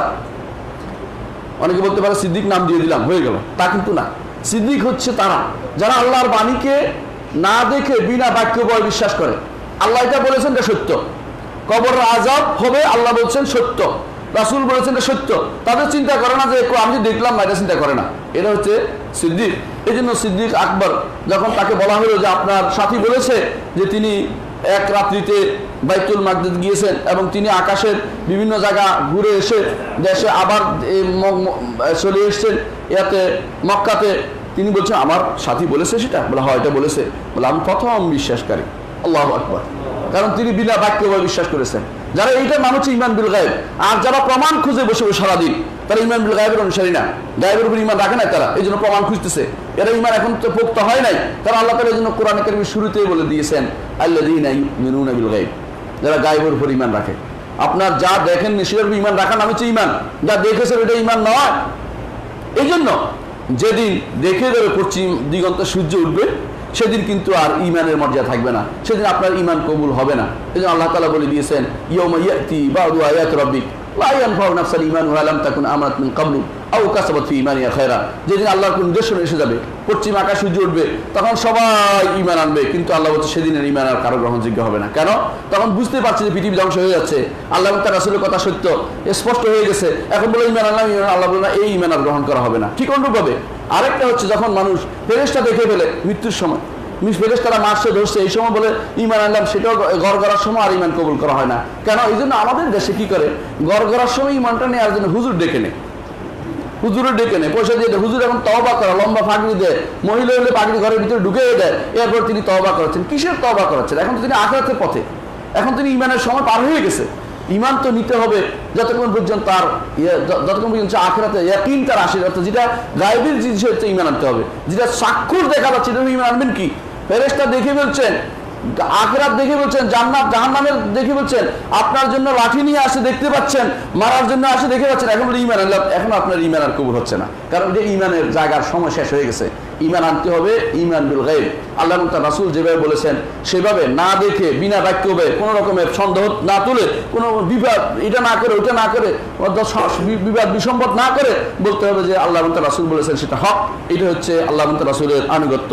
এই জন্য এই আনুগত্য করতে পারলেই জান্নাতে তাদের সাথে থাকতে পারবেন যারা আল্লাহর প্রিয় মানুষ।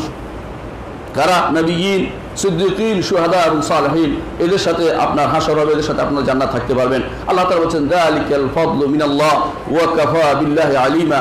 এ হচ্ছে আল্লাহর পক্ষ থেকে আল্লাহর পক্ষ থেকে বিশেষ দান। আল্লাহ সবাই অন্তর জানে কে কি বিশ্বাস করে। মুখে যায় বলুক না কেন, অন্তরে কি আছে আল্লাহ জানে।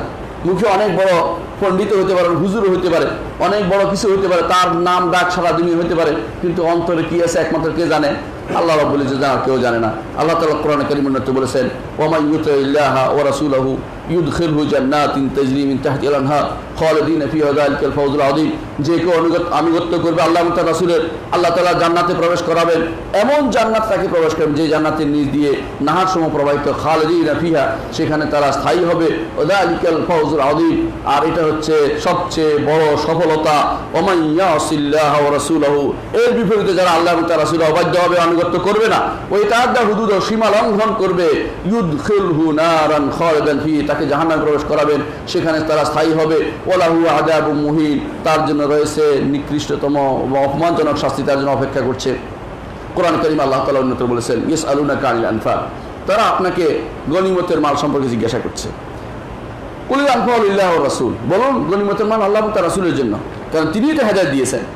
আল্লাহ হেদায়ত দিয়েছেন, রসুল পথ দেখিয়েছেন। সুতরাং যা কিছু অর্জিত হবে তাদের জন্য নির্ধারণ করো। এরপর আল্লাহ বলছেন, ফাত্তাকুল্লাহ। আল্লাহ তাকে অবলম্বন করে। ও আসলাহু যাতা বাইনিকুম, নিজেদের মধ্যে মীমাংসা করে। এই মীমাংসা কীভাবে হবে? ও আতিউল্লাহ ওয়া রাসূলাহু ইন কুনতুম মুমিনিন। আল্লাহ এবং তার রাসূল আনুগত্য করে যদি ঈমানদার হও, তাহলে অবশ্যই আল্লাহ এবং তার রাসূল আনুগত্য তোমাদের করে যেতে হবে। কোরআন করিম আল্লাহ তাআলা উন্নত বলেছেন, ওয়াল মুমিনুনা ওয়াল মুমিনাতু বা'দুহুম আউলিয়াউ বা'দ ঈমানদার নারী পুরুষরা একে অপরের বন্ধু, একে অপরের বন্ধু।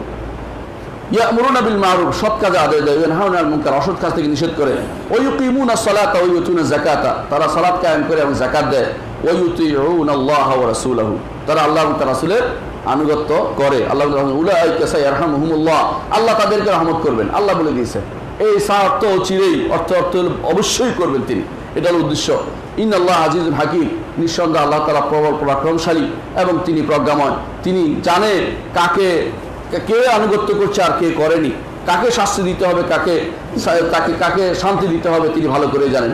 অন্য হয়তো আল্লাহ তালা বলছেন, কুলিং কুন্তুম তহেবুন আল্লাহ ফত্তাবিউনি। কিছু মানুষ আছে, দাবি করে আল্লাহর ভালোবাসার দাবি করে। আল্লাহ ভালোবাসার দাবি করে বসে বসে আল্লাহ আল্লাহ জিকির করে। দেখছেন না কিছু মানুষ? আল্লাহ ভালোবাসা আল্লাহ জিকির করে আল্লাহ ভালোবাসার দাবি না। আল্লাহ ভালোবাসার দাবি হচ্ছে, আপনি রসুল্লাহ অনুসরণ করে জিকির করবেন। সেটা হচ্ছে সুবহানাল্লাহ, আলহামদুলিল্লাহ, আল্লাহ আকবর লাহ তাও পদ্ধতিগতভাবে পরিবর্তন হলে এটা আবার এটা আবার বেদাত হয়ে যাবে। পদ্ধতি কি? লাইন লিল্লাহ আপনি ইচ্ছা হাজার বার বলেন, নিজের মতো মন মতো বলেন, কোনো সমস্যা নেই। যত ইচ্ছা অত বলেন। কিন্তু যখন আবার কেউ হালকা বসাইলো লাভ দিয়ে উঠবেন, গাছে উঠে যাবেন যেখানে সেখানে উঠে দৌড় দিবেন। এগুলি শরীয়ত সমর্থিত কোনো জিকির নয়। এগুলো নিজেরা বানিয়ে বানিয়ে জিকির বানিয়েছেন। এগুলো রসুল্লাহ সাল্লাম অনুসরণ হচ্ছে না। রসুল্লাহ সাল্লাম অনুসরণ না হলে আপনার সেটা গ্রহণ করা হবে না এবং আপনার মহব্বতের দাবিটা অসার হবে। আপনি রসুল অনুসরণ করেননি কারণ আল্লাহ তালা বলছেন যদি সত্যি সত্যি আল্লাহর মহব্বতের দাবিদার হয়, তাহলে আমার অনুসরণ কার অনুসরণ করতে বলছে? মোহাম্মদ রসুল্লাহ সাল্লাহ আলাইসাল্লামের তাহলে আল্লাহ তালা কি করবেন? তাকে ক্ষমা করবেন, দয়া করবেন। আল্লাহ তালা কোরআন কালিমে আরও বলছেন লাকাদ কান রাকুম ফি রাসূলিল্লাহ উসওয়াতুন হাসানাতুল লিমান কান ইয়ারজুল্লাহ ইয়াউমুল আখির রাসূলুল্লাহর জীবন রয়েছে তোমাদের আদর্শ। একটা আদর্শ দেখে মানুষ, দুনিয়ার মানুষ। আজকে আজকে আদর্শ আদর্শ বিভ্রাটে আছি আমরা। আমাদের সন্তানরা আদর্শ দেখে মেসি, বেজি, ওগুলিকে। কিন্তু আমাদের আদর্শ তো মোহাম্মদ রসুল্লাহ সাল্লাহ আলাইসাল্লাম ওগুলি আদর্শ নয়, খেলোয়াড়দের আদর্শ দেখে। আদর্শ এমন হয়ে গেছে এখন। ছোট কাল থেকে মানুষ শিক্ষা দেওয়া হয়, অমুক কি হয়েছে, তমুক কি হয়েছে, কত রান করেছে, পরীক্ষার হলে পর্যন্ত এই প্রশ্নগুলি আসে। অমুক কত রান করেছে, ওগুলি কি আসবে আমাদের? এগুলি পুরোটাই তো হারাম। এই জাতীয় খেলা, টাকা, পয়সার বিনিময়ে খেলাধুলা যেগুলো, এগুলি শরীয়ত কোন দিন করেছে? এগুলো সবসময় হারাম ছিল। খেলাধুলা অটুকু যতটুকু স্বাস্থ্য গঠনের জন্য, শরীর ঠিক রাখার জন্য, অথবা নিজের সন্তানকে আদব দেওয়ার জন্য, অথবা স্বামী স্ত্রীর দোষ দৌড় দেওয়ার জন্য, অথবা জেহাদের প্রস্তুতির জন্য, এর বাইরে যত রকমের আজ যা যা চালু হয়েছে, খেলার নামে যত ভণ্ডামি চালু হয়েছে, এগুলি সবই তো শরীর অনুষিদ্ধ জিনিস। অথচ এগুলি আজ শেখানো হচ্ছে। এগুলির কেউ কেউ আমাদের কাছে আদর্শ হিসেবে ধরা দিচ্ছে। সন্তানরা এদেরকে আদর্শ বানিয়েছে। আমাদের সন্তানরা মোহাম্মদ রসুল্লাহ সাল্লাহামকে আদর্শ মা তারা মনে বুঝেই না, মুখে বলল অন্তরে বুঝে না। সাহাবাই কেরামকে আদর্শ তারা মানে না। তারা আবু বকর, ওমর, ওসমানের নাম শুনে নাই। হয়তো কেউ বললে অমুক কে ছিল, আরেক দিকে নিয়ে যাবে, অমুক কত গায়ক ছিল বলে দিবে। কারণ তারা জানে না যে এই নামে সাহাবাই কেরামের তাদের জীবনে তাদেরকে শিখাতে হবে, এটা তারা শিখে নাই। ছোট কাল থেকে পড়ে আসছে। না মাদ্রাসা নিয়ে স্কুলে কোথাও তাদের জীবনে পড়ানো হয় না। দুর্ভাগ্যবশত এটা, যে আমাদের যাদের সত্যিকার আদর্শ তাদের জীবনে আমাদের পড়ানো হচ্ছে না। মোহাম্মদ রসুল্লাহ সাল্লাম জীবনী অটুকু পড়ানো হচ্ছে যেগুলো কি? মিথ্যাচারে ভরা। সত্য জীবনী পড়ানো হচ্ছে না। মিথ্যাচারে বলা কি? মিথ্যাচারে বলা কি? নবী হলেন কাঠুরিয়া। এটা হচ্ছে আমাদের গল্পের কাহিনী। নবী নবী, বান্দা ছিল, এক হরিণ, একটা বাঁধা ছিল গাছেরও তলা। এই জাতীয় জিনিসগুলো আমাদের মিথ্যাচার দিয়ে ভরা। আবার দেখবেন এই জাতীয় কত মিথ্যা যে আছে, তার হিসাব না, এই করে সেই করেছে, মিথ্যাগুলি দিয়ে আমাদের শেখানো হচ্ছে যে এটা হচ্ছে নবীর আদর্শ, অথচ সত্য আদর্শ আমাদের সন্তানদের শেখানো হচ্ছে না। যেটা আল্লাহ তালা বলেছেন লাকাত কানলা কুমফি রাসুলিল্লাহ ওসওয়াতুন হাসানা। রাসূলুল্লাহ জীবনের মধ্যে তোমাদের রয়েছে উত্তম আদর্শ। লিমান কান লিমান কান লিমান কান ইউমিন বিল্লাহ ইয়ুমিল আখির। তোমাদের যে আল্লাহ তার ঈমান রাখে রসুলের থেকে আদর্শ নিতে হবে। রসুল আসলাম কি করেছেন সেটাই আমাদের জন্য। আয়না হিসেবে নিতে হবে রসুল এটা করেছেন এটা করব। রসুলকে মাপকাঠি হিসেবে নিতে হবে। ইট বানাতে যেমনিভাবে আপনার একটা কি লাগে, খরমা লাগে। কর্মার মধ্যে যতটুকু পুরো একটু ইট হয় বাকিটা ফেলে দিতে হয়। ঠিক রসুল্লাহ আসলামের জীবন দিয়ে আপনাকে পুরোটা নিতে হবে। বাকি অংশ ফেলে দিবেন, এটা কোনো কাজে লাগবে না। কারণ না হলে দয়া করে রেখে দিলে কি হবে জানেন? এটা ইট হবে না, কেউ নিবে না। কেউ যে এটা কাটা নেওয়া যাবে না। আপনার জীবনেও এরকম। বাঁকা হলে ওটা নেওয়া যাবে না। যেটা সোজা আছে হেদাত সেরাত মুস্তাকিম রসুল্লাহ প্রদর্শিত পথ সেটা যদি নেন, সেটা গ্রহণযোগ্য হবে না হলে গ্রহণ করা হবে না। কীভাবে রসুলের আনুগত্য করবেন? আনুগত্য হচ্ছে মূলত, রসুল যা নির্দেশ দিয়েছেন তা মেনে নেয়া। রসুল যা ছেড়ে দিতে বলছেন তা ছেড়ে দেয়া। দুইটা জিনিস। আরেকটা হচ্ছে রসুল যা সংবাদ দিয়েছেন, তা বিশ্বাস করা। রসুল সংবাদ দিয়েছেন হাসরের মাঠে সূর্য এক মাইল উপরে হবে, এটা বিশ্বাস করেন। আপনি বড় বৈজ্ঞানিক হয়ে গেছেন। আপনার কাছে মনে হচ্ছে এক মাইল উপরে থাকলে তো পুড়ে যাওয়ার কথা। আপনি ইমান নাই। আপনি ওই ওইসব টেন্ডেন্সি যাইয়েন না। আপনি বলেন যে আল্লাহ রসুল বলেছেন সত্য। এটা বিশ্বাস করেন। এক মাইল উপরে পুড়ে যাওয়ার কথা, এটা হলো দুনিয়ার দুনিয়ার দুনিয়ার সূর্য আর দুনিয়ার শরীর। এগুলির সাথে আখেরাতের শরীরের সাথে আখেরাতের সূর্যের সাথে একসাথ করছে কেন? যে আপনার ভুল আপনি এটা একসাথ করার কারণে আপনার মাথার ভিতরে ভুল ধরা পড়তেছে, এই জন্য আপনার আমার সবচেয়ে বেশি জরুরি যে জিনিসটা, সেটা হচ্ছে কখনো আল্লাহ এবং তার রসুল যা বলবে, এখানে আপনি কোনো উদাহরণ পেশ করবেন না। অর্থাৎ নিজের পক্ষ থেকে এটা কেমনে হলে বলবেন না। বলতে এটাই সত্য, এটাকে আপনি বিশ্ব মেনে নিতে হবে পুরোপূর্ণভাবে। তাহলে আল্লাহ রসুল আনুগত্যের মূল জিনিসটা হচ্ছে এটা। প্রথম হচ্ছে রসুল যা সংবাদ দিয়েছেন তা মেনে নিতে হবে সত্য বলে। আর রসুল যা করতে বলছেন তা করতে হবে। রসুল যা নিষেধ করেছেন তা পরিত্যাগ করতে হবে। আর চার নম্বর হচ্ছে রসুল যেই শরীয়ত দিয়েছেন, এই শরীয়তের বাইরে অন্য কোনো শরীয়ত খোঁজা যাবে না। কিছু মানুষ আছে স্বপ্নে খোঁজে। হ্যাঁ খিজির এসে বলে দিছে তাকে। অথবা ইলিয়াস এসে বলে দিছে তাকে। অথবা অমুকে নীল চক্ষু বিশিষ্ট কেউ এসে বলে গেছে। অথবা স্বপ্নে বলে গেছে হুজুরে বলছে, স্বপ্নে দেখাইছে, কারামতে বলছে, এগুলো দিয়ে ইসলাম চলে না। ইসলাম হচ্ছে রসুল্লাহ সাল্লাহ ইসলাম যেই শরীয়ত নিয়ে এসেছেন, এই শরীয়তের মধ্যে আপনাকে থাকতে হবে। আল্লাহ তালা বলে দিয়েছেন তুম্মা যা আলনা কালা শরিয়া তুমি আমরে। আপনাকে আমরা শরীয়তের উপর রেখেছি। তথাকথিত তরিগত নয় হাকিগত নয় মারগত নয় এগুলি শরীয়তের কোনো এগুলি শরীয়ত মানা, এগুলি কোনোভাবে মানা যাবে না। এগুলি কোনো কোরআনও আসে না, হাদিসেও আসে নাই মানুষ বসে বসে এগুলি বানায় আর বানিয়ে বানিয়ে ভাগ করে। আল্লাহ তালা কোরআনে করিমে তাকে শরীয়তের উপর রেখে বলেছে, বলছে, সুম্মা জাল নাকা আলা শরিয়াতি মিনাল আমরে। হে নবী, আপনাকে আমরা শরীয়তের উপরে রেখেছি। যেই শরীয়তের উপরে আল্লাহ নবীকে রেখেছেন, সেই শরীয়তের উপরে আমাদেরকে থাকতে হবে। এর বাইরে অন্য কোনো শরীয়তে যাওয়া যাবে না। যদি আপনি রাসুলের আনুগত্যের কথা দেখেন, কোরআন এবং সুন্না দেখবেন তিরিশ ঊর্ধ্ব জায়গাতে রাসুল আল্লাহ রসুলের আনুগত্যের কথা বলা হয়েছে। তিরিশের উপরে জায়গাতে। অনুভবে আল্লাহ তালা কোরআন কারিম বলেছেন তারা যদি কোনো আপনাকে আনুগত্য না করে, লা মিনুন ফালা রব্বিকা লা ইউমিনুন হাত্তা ইউহাক্কিমুকা ফিমা শাজারা বাইনহুম, সুম্মা লা ইয়াজিদু ফি আনফুসিহিম হারাজাম মিম্মা কাদাইতা ইউসাল্লিমু তাসলিমা। পরিপূর্ণ মেনে না পর্যন্ত, রসুলের আদর্শকে আপনি মানা পর্যন্ত, আপনি ইমানদার হতে পারবেন না, আল্লাহ আল্লাহ তালা ঘোষণা করে দিয়েছেন। পরিপূর্ণ মেনে নিতে। অর্থাৎ সামান্যতম অন্তর্ভুক্ত দিদে আছে ইমানদার হতে পারেন নাই। অন্য আল্লাহ তালা বলছেন ওমা কান আলী মুমিনিন ইয়াকুন লাহুমুল খিয়ারতু মিন আমরিহিম আল্লাহ তার রাসূল ফয়সালা দিয়েছেন।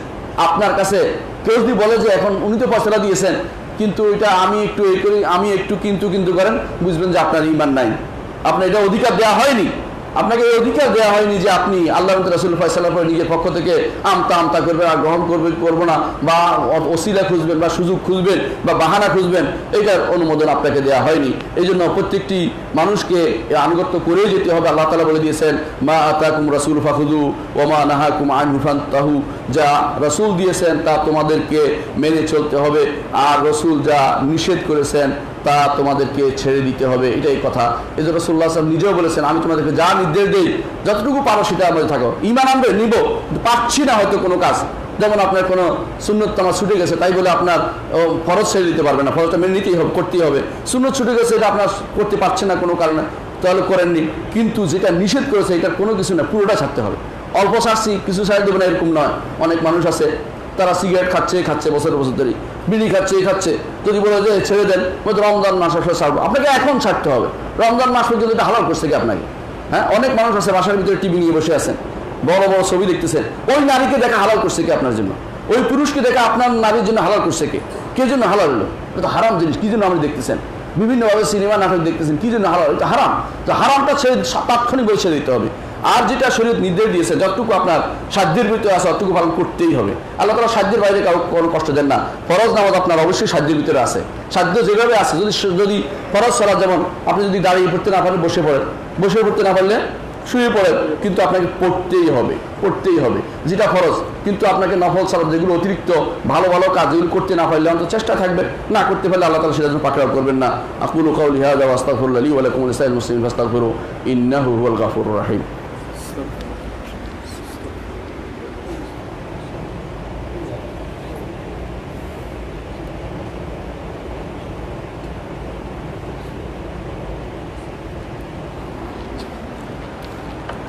إن الحمد لله نحمده ونستعينه ونستغفره ونعوذ بالله من شرور أنفسنا ومن سيئات أعمالنا.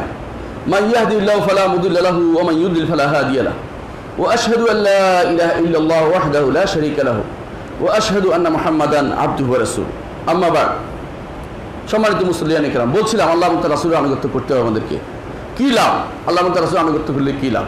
এটা কিছু আলোচনা করতে চাই যাতে করে অন্তত আপনারা বুঝতে পারেন যে আমি দশটি জিনিস আলোচনা করব এর মধ্যে। এক নম্বর হচ্ছে, আপনাদেরকে আল্লাহ রাসুলের আনুগত্য এই জন্য করতে হবে, কারণ রাসুলকে আল্লাহ তালা গুণামুক্ত করেছেন এবং রাসুলকে তিনি নিরাপদ করেছেন। হেদায়ত তার কাছ থেকে নিতে হবে, কারণ হেদায়তের আধার তিনি আল্লাহ তালা তার মধ্যেই মাধ্যমে হেদায়তের তার মাধ্যমে আমাদেরকে হেদায়তের জিনিস দিয়েছেন। অন্য কোনো মাধ্যমে দেন নাই। সুতরাং তার আনুগত্য করতেই হবে। এই জন্য আল্লাহ তালা কোরআন করিম বলেছেন ও কাদাল কাউহাইন এলিকা রু হামিন আমরিনা। কাদাল কাউহাইন এলিকা রু হামিন আমরিনা। আমাদের নির্দেশের রু আপনার কাছে ওহি করেছে, অর্থাৎ কোরআন। তারপর তারা, মা কুন্তা তাদের ইমান কিতাব বলেন ইমান আপনি আগে জানতেন না, কিতাব কি ইমান কি? আল্লাহ তালা বলছেন এটা। ওলাকিন জালনাহ নূর আর নাহদি ইমান নাশা। আমি আপনাকে করেছি আলো, যে আলো দিয়ে আপনি দুনিয়ার মানুষকে আলোকিত করবেন, হেদায়ত দিবেন। হেদায়তের আলো মোহাম্মদ রসুল্লাহ সাল্লাহ কিছু মানুষের মতো আমরা বলব না। যে ব্যক্তি সত্তা তিনি আলো ছিলেন বা নূর ছিলেন বা আল্লাহ নূর নাউজবিল্লা এটা বলতে শিরিক হয়ে যাবে, এটা বলা যাবে না। বলতে হবে যে তিনি হেদায়তের আলো, সারা দুনিয়া তার আলো দিয়ে আলোকিত হয়েছে আমরাও আলোকিত হয়েছি। এবং যতটুকু যাবে দিন, এই আলো বাড়তেই থাকবে, এই আলো সারা দুনিয়া ছড়িয়ে যাবে ইনশাল্লাহ যদি আমরা সেটাতে কাজ করতে পারি। দ্বিতীয় যে কাজ, যে জন্য আপনি আনুগত্য করবেন, সেটা হচ্ছে বান্দার উপর আনুগত্য করা ফরজ করে দেওয়া হয়েছে। বান্দার উপর রাসুল আনুগত্য ফরজ করে দেওয়া হয়েছে, এটা ফরজ। এই আল্লাহ তালা বলছে আমন আমন আতিউল্লাহ আতু রসুল এই ইমানদারগণ আল্লাহ তার রাসুল আনুগত্য করো, আর তোমাদের আমল বিনষ্ট করিও না। অর্থাৎ যদি আনুগত্য না করি, আমল বিনষ্ট হবে।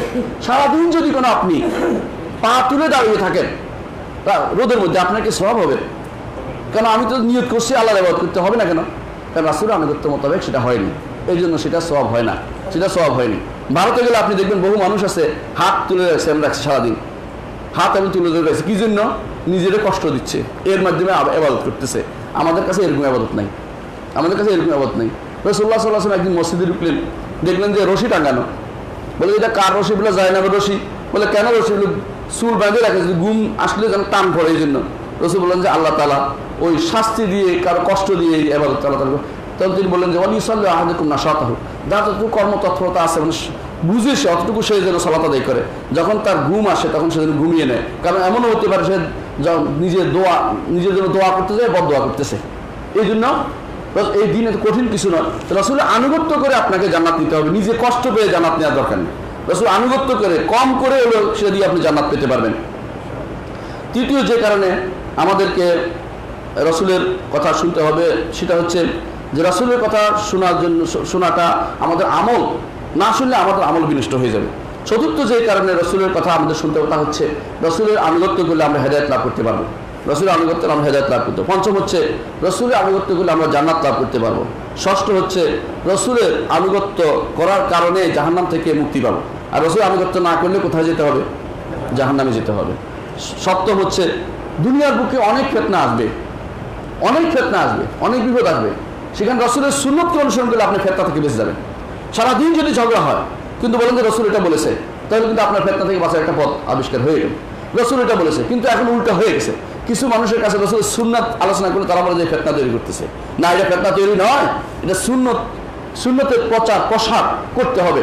সুন্নতের প্রচার, প্রসারের মাধ্যমে আমরা দুনিয়ার অনেক কিছু থেকে ফেতনা থেকে বেঁচে যেতে পারি। আর যদি আমাদের মেয়েরা, পুরুষরা, ছেলেরা, যুবরা, বড়রা, বৃদ্ধরা সবাই যদি কোনো শুধু শূন্য মোতাবেক চলি, দেখবেন যে কোনো ফেতনা হচ্ছে না। আজ সাহাবাইকেরাম যেভাবে চলেছে, তাদের কোনো ফেতনা হয়নি। আজও দুনিয়ার বুকে যদি আমরা যে রসুলের সুন্নত মোতাবেক ছিল আমাদের কোনো ফেতনা হবে না, সমস্যা হবে না। এবং কাফেররা আবার আমাদের ভয় পেতে আরম্ভ করবে। এখন কেন ভয় পায় না? আমরা তো রাসুল অনুসরণ করি না। আমরা অনুসরণ করি দেশ বিদেশের বিভিন্ন রকমের যে বড় বড় যে সমস্ত তথাকথিত নাম করা যে সমস্ত নায়ক, নায়িকা, অমুক তমুক তাদের অনুসরণ করে চলেছি। তা আমাদেরকে ভয় পাবে কেন? ওরা তো বলল, আমার অনুসারী তারা। এরা তো আমার অনুসারী। যখন আপনি আল্লাহ তারাসুল অনুসারী হবেন, তখন তারা ভয় পাবে যে এরা তো আমার বিরোধী। কিন্তু এখন মনে করছে এরা তো আমার অনুসারী। আমার, তারা ভয় পাবেন কেন? এই জন্য দুনিয়া এখন আমাদের জন্য সংকীর্ণ হতে চলেছে। আট নম্বর হচ্ছে আল্লাহ তার রাসুলের আনুগত্য করলে আপনার ইমান আসবে। আল্লাহ তালা বলছেন, আতিউল্লাহ রাসুল ইনকুন্তু মিনিন ইমানদার হতে হলে আল্লাহ রাসুল আনুগত্য করতে হবে।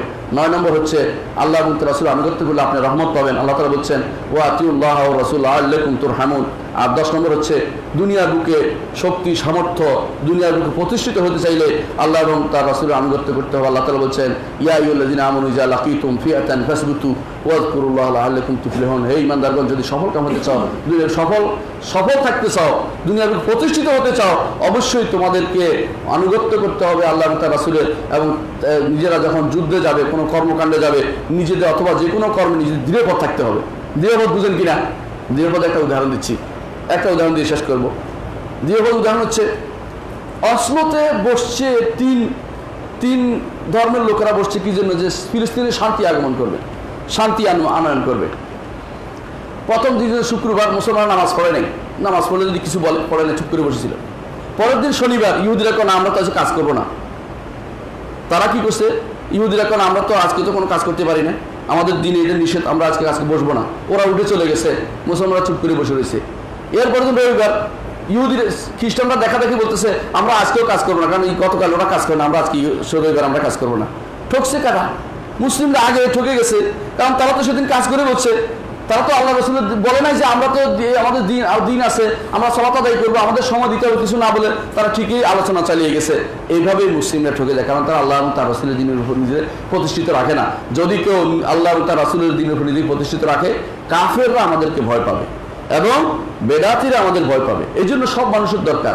সমস্ত, প্রত্যেকটি মানুষের দরকার। সমস্ত, সর্ব অবস্থায় আল্লাহ এবং তার রাসুলের আনুগত্য করে, আল্লাহ তার আনুগত্য করে যাওয়া, আনুগত্য সুপ্রতিষ্ঠিত থাকা এবং এর মাধ্যমে আমাদের জীবনকে গড়ে তোলা। কীভাবে আল্লাহ রাসুল আনুগত্য করবেন সেটা বলেই আমি শেষ করব। এক নম্বর হচ্ছে ভালোবাসতে হবে আল্লাহ রাসুলকে। আল্লাহর উপর ভরসা করতে হবে, দোয়া করতে হবে সার্বক্ষণিক এবং আল্লাহর দিন শিখতে হবে। না শিখে হয় না। আল্লাহ দিন শিখতে হবে এবং সবসময় মনে রাখতে হবে যে নবীদের কাহিনী কীরকম গেছে সে দেখতে হবে। বেশি বেশি করে আল্লাহ ন্যায়ামতের কথা স্মরণ করতে হবে এবং বেশি বেশি করে আল্লাহ তালা ন্যাক বান্দাদের সাথে নিজেদের জীবনকে, নিজের জীবনকে পরিচালিত করতে হবে। কোরআনে কারিম তেলাবাদ করতে হবে। কোরআন করিম তেলাওয়াত করতে হবে। কারণ এর মাধ্যমে তাদের আগের এবং পরে সমস্ত ঘটনা আপনি পাবেন। যে কি ঘটনা আয় ঘটছিল, কীভাবে সাহাবায়ক রাম কঠিনভাবে ধৈর্য ধারণ করেছিলেন এবং সেই অবস্থায় আমাদের টিকে থাকতে হয়, অবশ্যই কোরআন করিম তেলাওয়াত করতে হবে এবং সেটার উপরে আমল করতে হবে। আকুল কৌলি হাজা ওয়া ওস্তাকুল্লা আলী ওলাকুম আইহান্নাস ইন্নআল্লাহ আজ্জাল আমরাকুম বে আমরিন সান্না সান আমরাকুম বে আমরিন বাদা ফি বিনাফসি ওয়া সান্না বিমালাইকাতুল মুসাব্বাতুল কুদসি। وثلث بكم أيها المؤمنون فقال تعالى مخبرا عامرا إن الله وملائكته يصلون على النبي. يا أيها الذين آمنوا صلوا عليه وسلموا تسليما. وقال النبي صلى الله عليه وسلم من صلى عليه مرة صلى الله عليه بها عشرا فقول اللهم صل على محمد وعلى آل محمد كما صليت على إبراهيم وعلى آل إبراهيم إنك حميد مجيد. اللهم بارك على محمد وعلى آل محمد.